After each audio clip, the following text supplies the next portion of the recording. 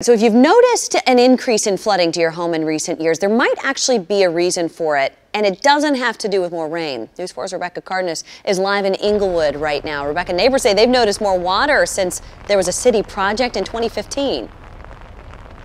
Yeah, Lauren, that's exactly right. And what the city says is that there are sewer lines running under this road, and the storm water was going into those because they were cracked. Well, that's not what those sewer lines are for, so they fixed it. Now neighbors say that storm water is going into their basements. Here's the thing, this road is at quite a significant incline here, so that rainwater runs down the road, and some of these neighbors have ditches to collect that storm water, but the ones that don't tell me that they have spent thousands of dollars in years begging the city for help.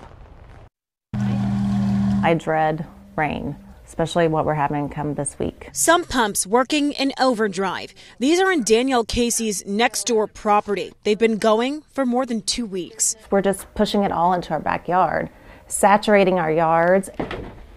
She loses sleep every time there's heavy rain. Making sure that the basement's okay and now the building in the backyard is okay. Her 70 year old home and the nearly 80 year old house she owns next door never used to flood until about three years ago. Basically, they took away the only only avenue of a storm drain system that we had. She's talking about the city. Here's what we found out.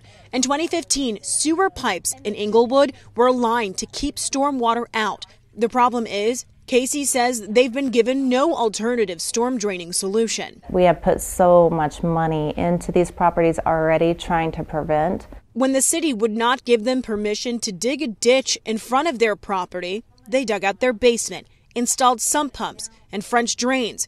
She estimated they've spent more than $20,000 fighting water. When you ask the city for help and you get put a, put a swamp garden in your yard, it's disappointing.